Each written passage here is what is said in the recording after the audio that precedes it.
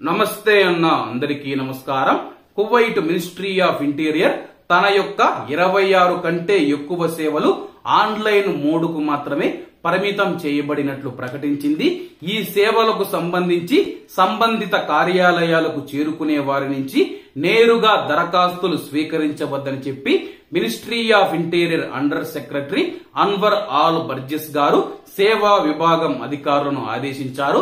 కేవలం ఇరవై ఆరు సేవలు ఏవైతే ఉన్నాయో అవి ఆన్లైన్ ద్వారా మాత్రమే ఆ యొక్క లావాదేవీలు జరపాలని చెప్పి మీరు ఆ యొక్క కార్యాలయాలకు వెళ్ళి నేరుగా దరఖాస్తులు ఇచ్చినా సరే అధికారులు స్వీకరించరని చెప్పేసి ఆయన వెల్లడించారు. అలాగే ఈ యొక్క నిర్ణయం నుంచి మనం చూసుకుంటే వృద్ధులు వికలాంగులు ఆన్లైన్లో లావాదేవీలు చేయలేని వారు ఎవరైతే ఉన్నారో వారిని మినహాయించినట్లు అధికారులు తెలిపారు.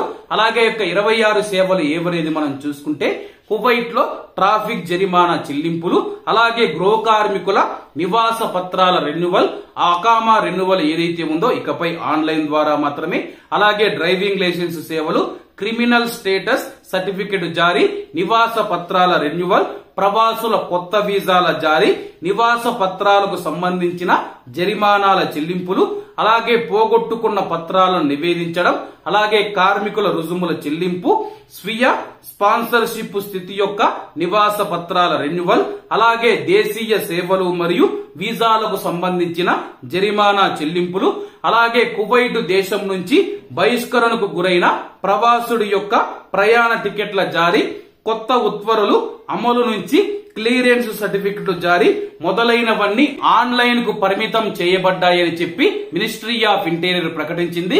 కాబట్టి కువైట్లో ఉన్న మన భారతీయులు గాని తెలుగు వాళ్ళు గాని ఈ యొక్క ఇరవై ఆరు సేవలకు ఆ యొక్క కార్యాలయాలకు వెళ్ళకుండా ministry of interior official website ద్వారా ఆన్లైన్లో లావాదేవీలు జరపవచ్చని చెప్పి స్థానిక మీడియా పేర్కొంది. కాబట్టి అందరూ బాగుండాలి ఎందులో మనం ఉండాలి. అందరికీ నమస్తే అన్న.